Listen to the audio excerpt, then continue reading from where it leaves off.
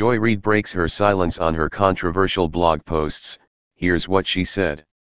MSNBC host Joy Reid finally broke her silence Friday about controversial blog posts from her past that have infuriated many, including some of her previous allies on the left.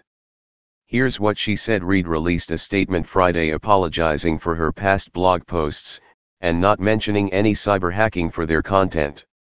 While I published my blog, starting in 2005, her statement read, I wrote thousands of posts in real time on issues of the day.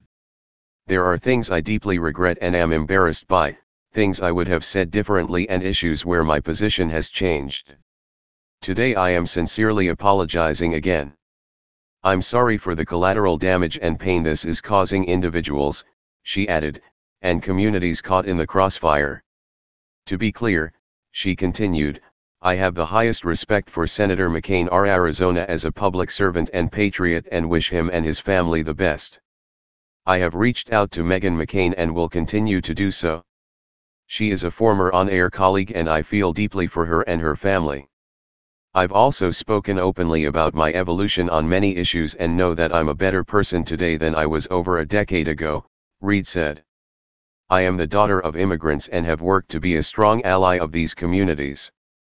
There is no question in my mind that Al Qaeda perpetrated the 9 11 attacks or about Israel's right to its sovereignty.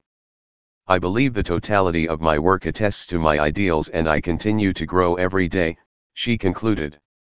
A laundry list of offenses Reid went through a laundry list of new blog posts that had been unearthed at used to criticize her and MSNBC for continuing to employ her. Her posts had used homophobic language and also opined that New Orleans should be rebuilt by citizens, and not by Mexicans, legal or illegal, after the Katrina hurricane disaster. Reid also touched upon a post that contained a photoshopped image depicting Senator McCain as the Virginia Tech shooter. In another post, she advocated for a conspiracy theory about 9-11, while still another criticized a CNN news anchor for being too accommodating to Israel. MSNBC and Reid have been mocked by many for their initial response to the blog posts, which included blaming an unidentified cyber hacker for the content of some of the articles.